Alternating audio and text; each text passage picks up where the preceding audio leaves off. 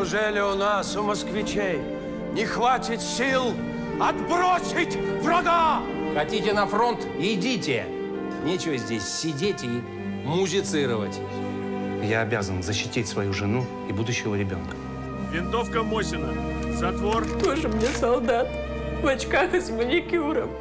Раз Красная Армия доблестно дорабает, давайте нашими детьми дыр затыкать. Они наши защитники. А как я сыну объясню, почему дома штаны протирал, когда все мои дети на фронте?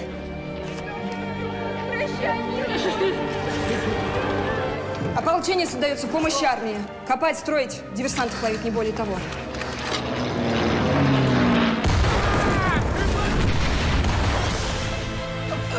Если до дохлики, они же не дойдут. То надо, то дойдет. А я вернусь. Пьески солдатской жизни где-нибудь пристрою. Набралось у вас материала на новую пьесу? Сейчас, сейчас, сейчас. Обещай, что вернешься скоро, обещай. Обещаю. Враг рвется к Москве и уничтожит там все, что нам там дорого. У вас есть семья в Москве, Раскин? Русский писатель даже на фронте не расстается с классикой.